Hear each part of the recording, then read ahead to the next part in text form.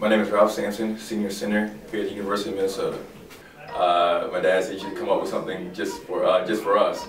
Uh, just so when you do it, we know what it is. And I ended up just dancing around the weight room and ended up uh, coming in with the, swinging of the threes in the air. Uh, one one now since he's old now, I can finally get a chance to go around and take him. Uh, but when I was younger, he still played the old school ball where he just pushes you out the way and goes and shoots a three or lays it up. Probably dunk on someone.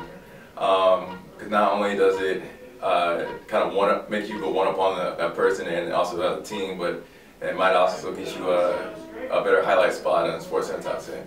Just his motions and his random ad-libs he throws in there, like the Cavs are here, and um, just the way his role in the house that he plays.